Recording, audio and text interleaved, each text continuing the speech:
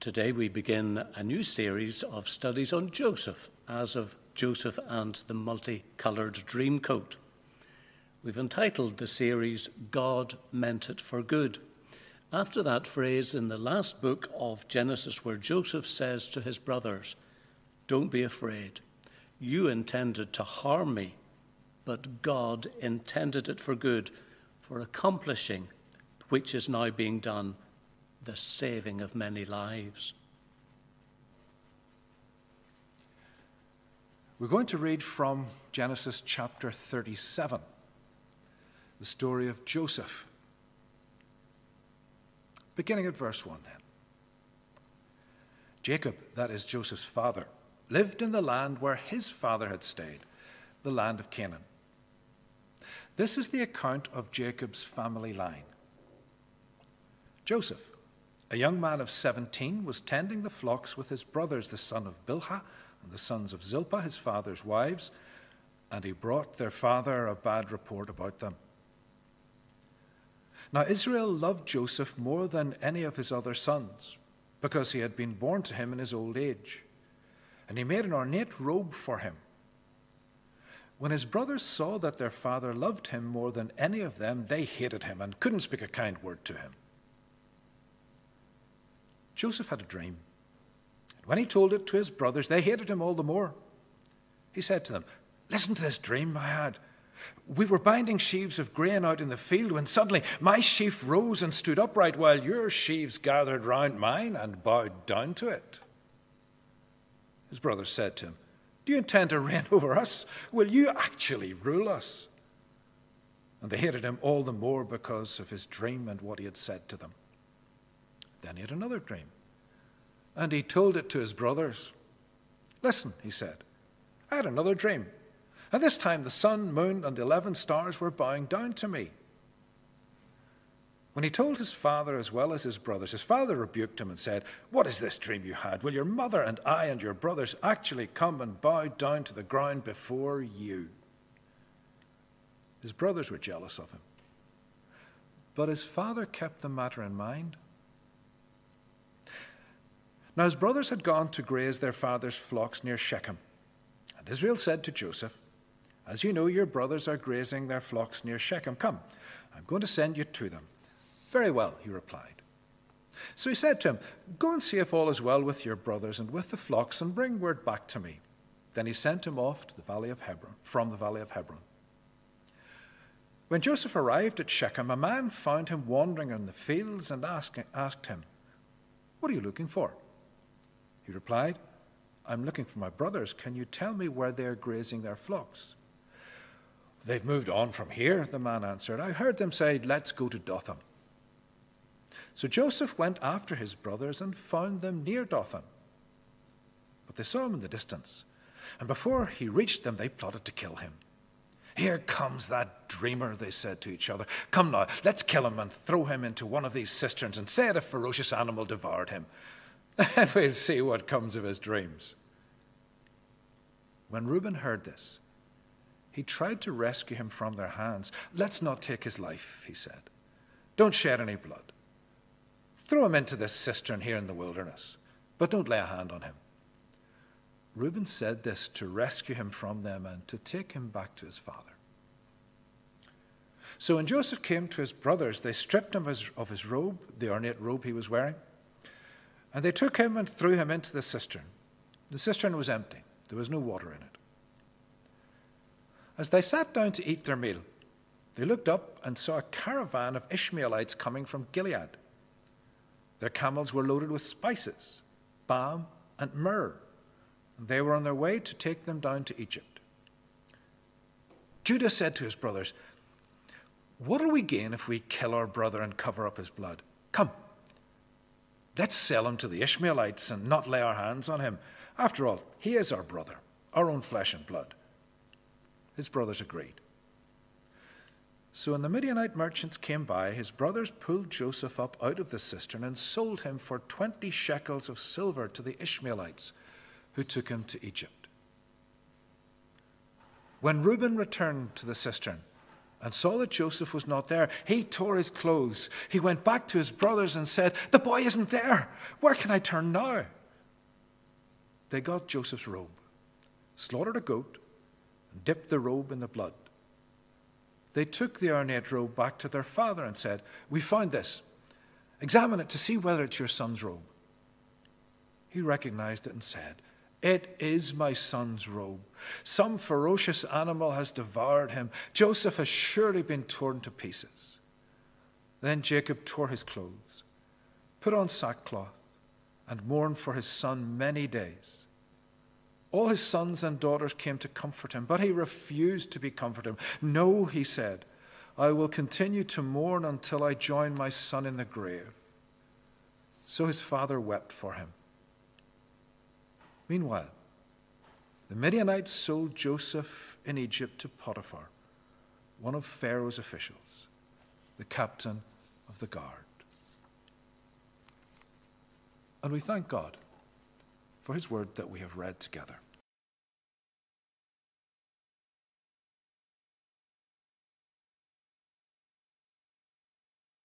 We're going to be thinking about Joseph in just a minute. Story of uh, a young man who, by the end of the chapter that we've already read, found himself being taken to be sold as a slave in Egypt. Well, the question that I want to ask about this is whose fault was it? Who do we blame for what happened to Joseph? Let's pray together.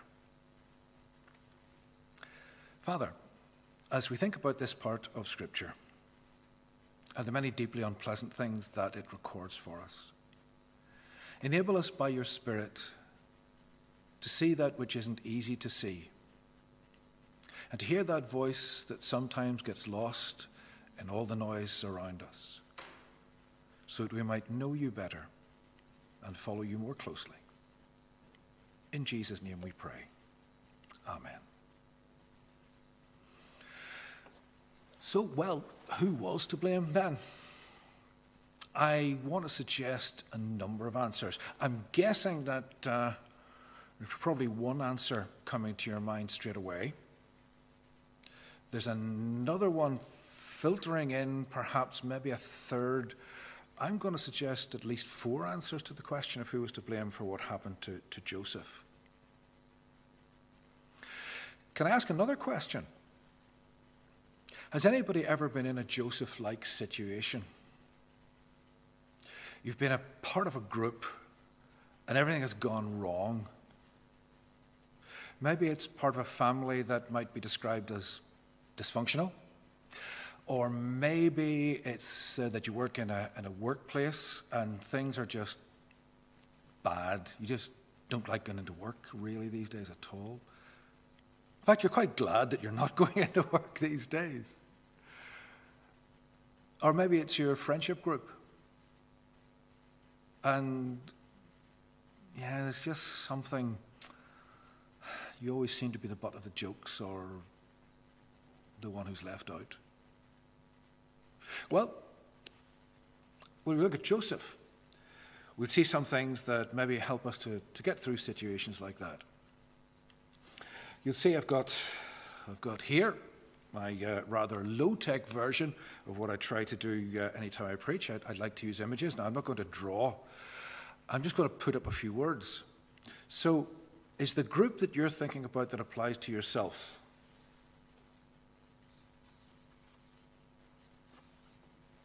Family?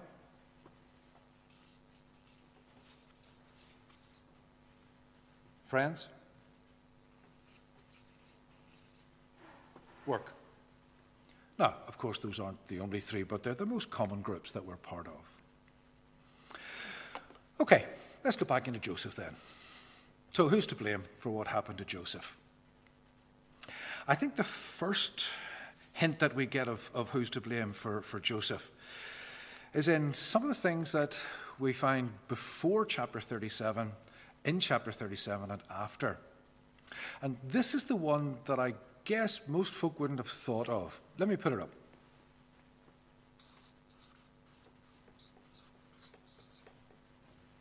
It's the culture that they were part of. Joseph's family had grown up within a particular culture at that time. Obviously, we all grew up within a certain culture. But if you go back to chapter 34, you'll find an ugly story of uh, one of Jacob's daughters who was raped. Her rapist seems to have fallen in love with her. But her two brothers decide to wreak revenge, and not only do they kill the rapist, but they kill his whole family as well. So the culture was a time of anarchy. Government was really not good. If you come to the end of uh, the chapter that we looked at, in verse 36, where does Joseph go? Joseph is sold into slavery. Now, this is part of the culture, but it's worth mentioning. Here's a culture in which people could be bought and sold for their labor. Starting to sound familiar? They were only as good as what they could produce, their only value was in what they could make. And so Joseph was sold as not even a hired hand, but a bought hand. So work wasn't in a good, a good place at that time in that culture. And then did you notice uh, in verse 2 that Joseph told a tale on a couple of uh, young men, a couple of his brothers, the sons of Zilpah and Bilhah, his father's wives. So family life wasn't in a great state at this time either. Jacob was married to at least four women that, that we know of. It's possibly more, but certainly four. So family life in that culture wasn't good. So you've got government's not good, work's not good, and family life isn't good. Hmm. Worth thinking about, isn't it? When I start to put my life in context and ask, who's to blame? We are part of a broader culture. And what's going on in that culture eventually brings itself down into my life and has its effect. Okay, so that's the first person who's to blame, or the first thing that's to blame. Who else is to blame for what happened to Joseph? Well, let me write it up.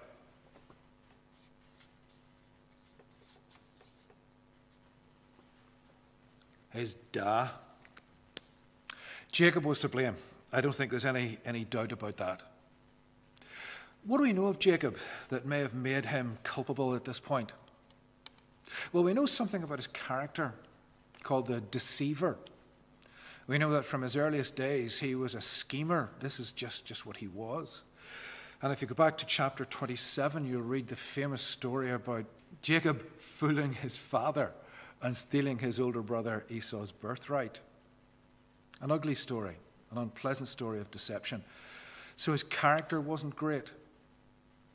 But if you read through Jacob's life between then and this point, you'll see a number of things happened. So, what he went through in his life formed him as, as well. Think of, of uh, how he became married to Rachel and to Leah. He fell in love with Rachel. He wanted to marry her. He got his father, her father's agreement. And then her father tricked him. And after uh, Jacob was married. He went on working for his father in law, and his father kept on tricking him. And eventually, Jacob responded by tricking his father in law. So there was a pattern building up here. His character, his experience weren't going to make him a great father. And then, if we bring it right up to date in terms of the story, there was how he treated his family, how he carried out his fathering, if you like. We read that he simply favored Joseph. He had 10 other sons, but this was his favorite. Joseph was the, uh, you know the phrase, he was the wee late one. He was always going to be the apple of his father's eye. He was born in his old age. He was born to the woman that he loved more than all of the others, to, to Rachel. So it's not surprising that he favored Joseph. And you can see straight away, can't you, that as he was doing this, he was setting things up for everything to go wrong. And it did. And it's like that in many groups, in families. It can be like that with parents. who, through their experience, through their character, through all that they are, just don't order their families in the way that they ought to. Or in work, if your boss is not good, if your boss has his or her problems, well, then that can work out very badly for the folk who are there. And every group of friends has an informal leader, don't they? There's just that one person who seems to be the one who everybody looks to. And if they're not a good person, then things aren't going to go well in the group. So, if things are going wrong for me, what's my culture doing? What's happening with the leadership of the group that I'm part of, whether it's formal or informal? And then the third, third group of people who were responsible, you've seen this coming, haven't you?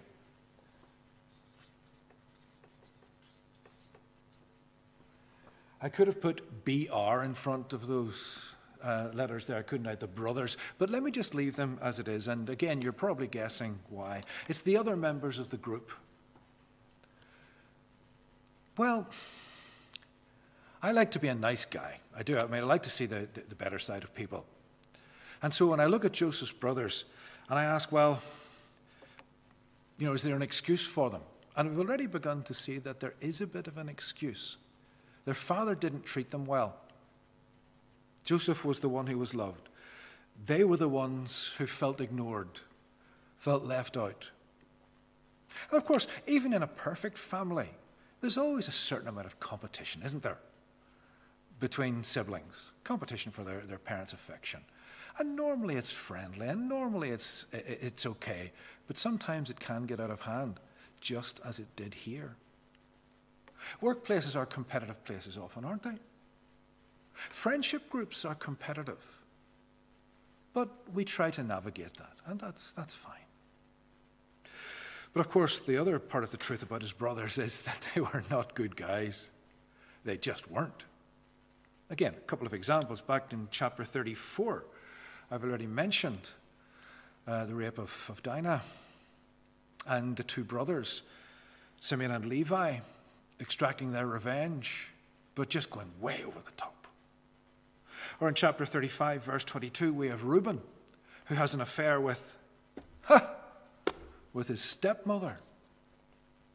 In chapter 38, we have Judah, who has sex with his daughter in law.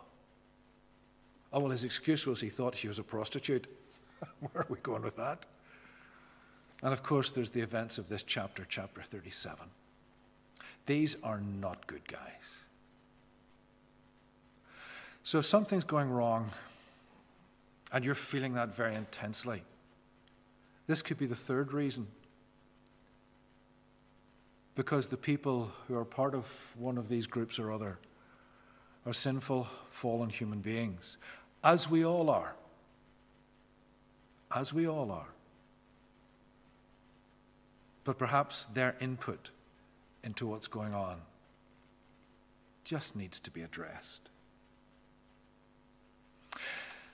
And then, another one to, to add to this list. Who is to blame? Yeah. Imagine I'm Joseph writing this, okay?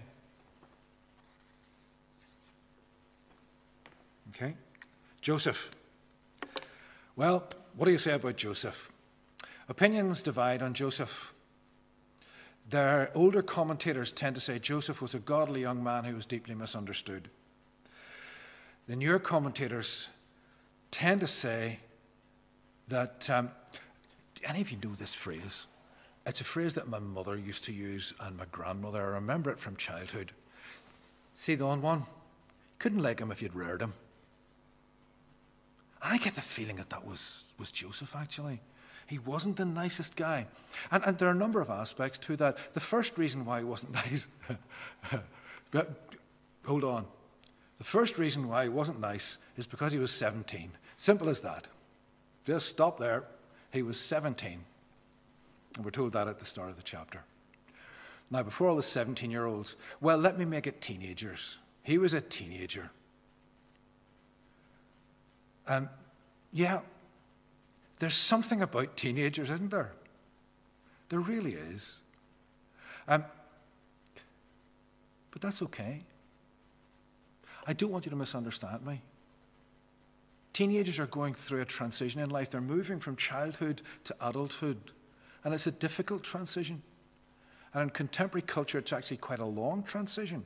It can be between about the ages of 10 and 25, 26. Teenagers, life isn't straightforward. And Joseph was a teenager. Second, he was spoiled rotten. You've got the coat as part of the evidence for that. But you've also got the fact that uh, twice we're told in this chapter that he was around about the house while everyone was out. Just before Jacob sends him to find his uh, brothers, we're told he was around the house. Now, when Jacob said, Go and find your brothers and see if they're okay. I mean, Joseph wasn't saying, Look, I've got these horses to shoe, or I've got these things to do. I'm really busy. Joseph was just around the house. So he was teenager. He was spoiled rotten. Verse 2, he was a telltale. Now, we don't know anything more than he saw his, his brothers doing something wrong, and he told his father. Well, that's not going to make him popular at all, is it? He had no insight into people either, did he? Now, I mean, put yourself in his position, the, the dreamer. So Joseph has a dream, and he tells the dream to his brothers. That is, in effect, saying, You're going to bow down to me. Needless to say, his brothers aren't best pleased. And then there's another dream that says the same thing and brings his father and mother in. Now, if he has any sense at all, he's going to just keep his big mouth shut for a while. But oh no, I've had this dream, and you're all going to bow down to me, and so are mum and dad. Well, it's no surprise that uh, his brothers don't take well to him. He just didn't have that sense of, of people. He didn't know when to speak and when to keep quiet. And he just comes across as arrogant, doesn't he? He comes across as someone who just knows better. I love that, that quotation that's sometimes attributed to uh, Mark Twain in various forms. Um, when I was 17, I was amazed at how little my father knew. When I became 21, I was amazed at how much he had learned in four years. Joseph was still at that stage where he thought he knew everything. So, who was to blame? I think we have to say that part of the reason was Joseph himself, and you can see now why I've put up those two letters. If I'm in this situation where everything's going wrong for me and things are not good in one of these three groups or whichever group we're thinking about, it could be part of the culture that's having an effect. It could be the one who's leading the group who has the effect. It could be the others in the group. Or, yep, it could be me. Worth thinking about. Okay, let me start to draw this to, to a finish. Whose story is it? Whose story have we been looking at? Yep, Yes, it's Joseph's story, but you can see by what I've written there that it's also somebody else's story. Now, I suppose I could have taken the word Jacob out here and put the word leader or group leader or something like that in there. And that would have made the picture complete. But Joseph's story and our stories tend to be quite similar. And in particular, if what you're going through at the minute is difficult, we know, all, we know all the difficulties that are associated with our current circumstances. We know all of those. And actually, it may be that those are flagging up things that have lain hidden for a while. Could be family tensions. Could be in your group of friends where you're stunned that nobody actually has been in touch with you. Or they've been barbed in a way that I hadn't noticed before. Or the pressures of work are starting to look different as people are jockeying for position in new ways that, well, So it's the story of Joseph. But the story of Joseph is wrapped up in a bigger story. My story is wrapped up in a bigger story. Yes, it's the story of my family, my friends, my workmates, of the culture, but it's also the story, Joseph's story, my story, the story, of living in a fallen world. The fact is, we live in a world that is not perfect.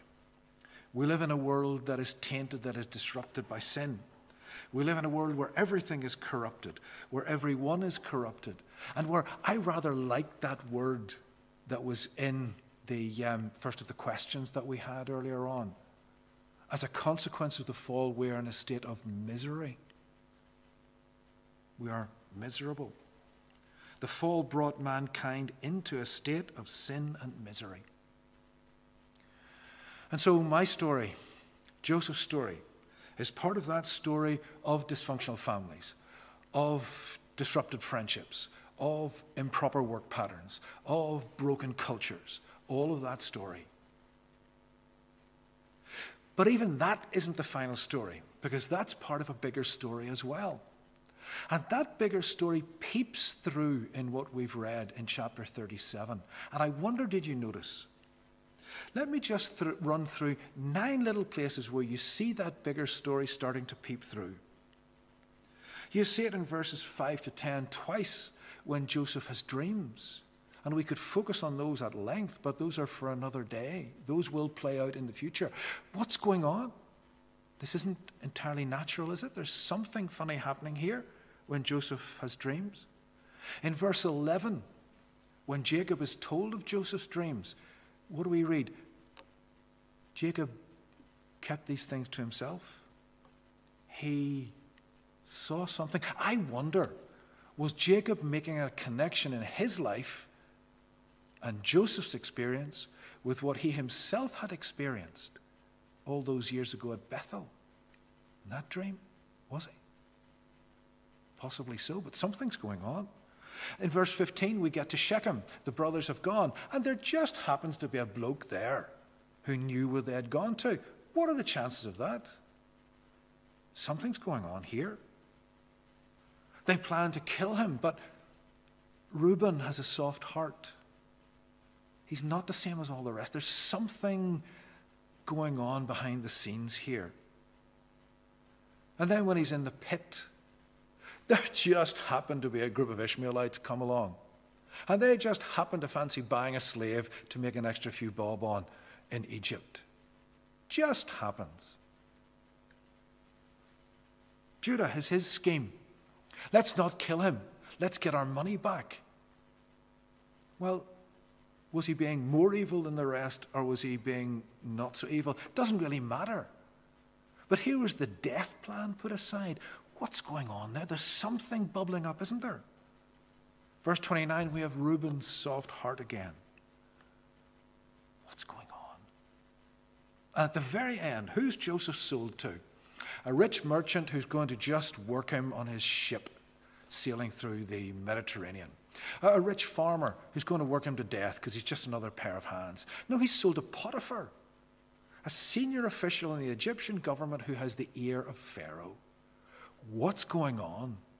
Something is peeping through here. Another story is being told. And that's God's great story. Joseph's story is part of the story of fallen humanity, but it's also the story of God's salvation. And so is your story and mine. We're part of that. As God created the world, as God has redeemed the world in Christ Jesus, and as God will bring all things to fruition at the end, we move between these two stories the story of God's great redemption and the story of fallen humanity. And we have choices to make. And we might make choices one way or the other. We can decide am I going to just buy into the fallenness of the world? Am I going to make that my story? That's the story of misery, by the way. Or am I going to make God's great story my story? Am I going to buy into that? Am I going to live that? Am I going to follow that? Because that's the story of fulfillment and peace, salvation, and eternal life. So, as we navigate our story, and as we understand the story of other people with whom we interact, how are we going to do that? How?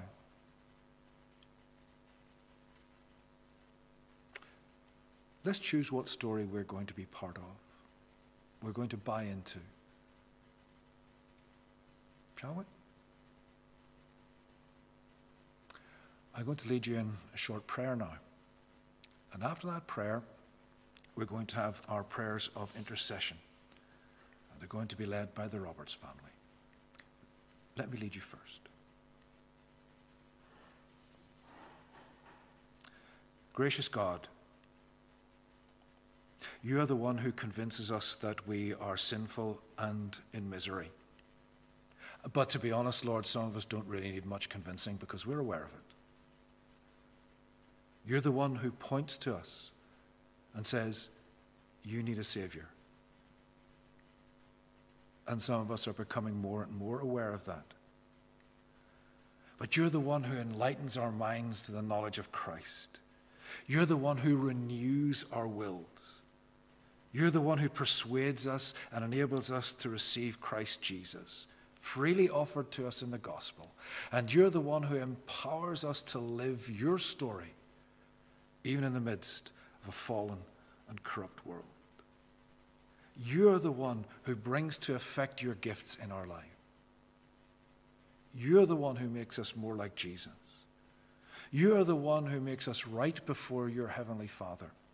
You're the one who has adopted us into your family. You're the one who is making us more and more like Jesus day by day. And you're bringing to us all the good things that you have to give us as your family. So gracious God, enable us day by day, moment by moment, more and more to embrace you, to live your story for your glory for the benefit of your world and your people. And to know in doing that your peace. In Jesus we pray. Amen. Let us pray. Heavenly Father, thank you that through Christ we can once again draw near to your throne of grace with confidence. Almighty God, we lift up to you all our concerns about the coronavirus currently sweeping through our world. Help us in all our present worries to remember that you are a refuge and strength, a very present help in trouble. Father, we pray that you would protect those who are most vulnerable to the virus. We lift up those who are older and frailer, those with pre existing health conditions, and those without access to good medical care. We pray they would know your peace and protection. Lord, in our country and abroad, would you bring calmness to those who are fretful, healing to those already sick, and comfort to the bereaved families. We also remember those who feel lonely and isolated. Lord, in your mercy, would you stop the spread of the virus? We lift up to you in particular communities struggling to contain the infection, like in Ecuador, in Latin America. We pray that effective medical treatments to combat the virus can be found quickly. Lord, would you aid our scientists with knowledge and insights and help them to join forces across national boundaries as they work on developing a safe and effective vaccine? Lord, we also pray for our governments that you would enable them to make wise decisions as they try to steer us out of lockdown. We lift up our Prime Minister Boris Johnson to you in prayer, asking for you to return him quickly to work at number 10 again. Please also protect the health of our, all our political leaders in London, Dublin, and Stormont, and guard them and their families from hurtful abuses on social media in these strenuous times. Heavenly Father, safeguard our civil servants and chief medical officers. Give them rest after long days at work. Also grant them, we ask, concentration, attentiveness to detail, and energy to communicate effectively to the media. We pray for our frontline workers, those working in community care settings, care homes, our hospitals, and the key workers in emergency and support services. Thank you for all these workers, some risking their own health to keep us safe, many overwhelmed and exhausted by the demands placed upon them. Lord, give them encouragement, energy, and wisdom. Protect them with the right equipment and give them enough rest between shifts. Please provide health and strength to volunteers working with the various food banks during this crisis. Lord God, we pray for our pastoral care team here in Bloomfield Presbyterian Church. Please guide Frank, Sam, Michael, and Elizabeth and our elders as they adapt to new technology and rely on phone calls to reach out to people in need. Fill us as your followers in Bloomfield Presbyterian Church with your Holy Spirit. Help us to know how to best serve our communities during this time of lockdown and bring the good news of salvation in Jesus to the doorsteps of our neighbourhood. We pray for Helen Liu and pray she can continue to share the good news about Jesus in Japan as Japan goes back to a state of emergency. Please protect Helen, her friends, and other missionaries in Japan. As many countries around the world are enforcing quarantine on their populations, we read of new alarming concerns about the risk of a possible hunger pandemic around the world. Father God, we are thinking of people most at risk of famine in countries ravaged by recent conflicts, such as Yemen, Democratic Republic of the Congo, Venezuela, and South Sudan.